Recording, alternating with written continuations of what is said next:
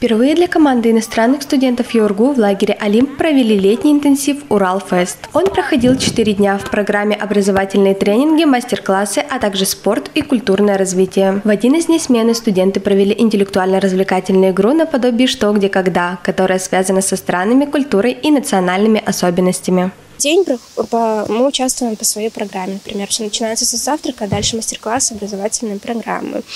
А, наша цель – получить как можно больше опыта, узнать а, все, что нас интересует у экспертов.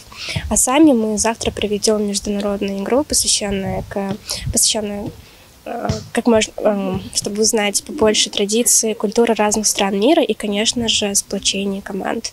На смене студентов ждала не только развлекательная, но и образовательная программа. Ее помогали вести профиль тренера, а также специалисты Центра ТОП-500 Юргу. Большую часть развлечений студенты обеспечивают себе сами, к примеру, спортивную часть. В период летней кампании иностранные студенты ездят на все смены и на вот Третьяковку творческую смену ездили, отдельно выезжали Центр социокультурной адаптации.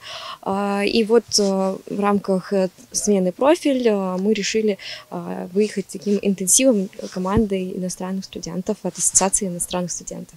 Некоторые из иностранных студентов приехали в Олимп впервые. Для них это возможность преодоления языкового барьера, освоения межкультурной коммуникации, работа с тайм-менеджментом и многое другое.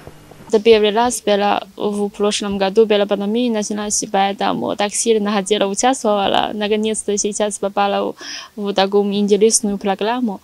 И очень сильно советую, что если иностранные студенты, они, у них есть возможности тоже к нам присоединяйтесь, нам очень э, будет очень весело.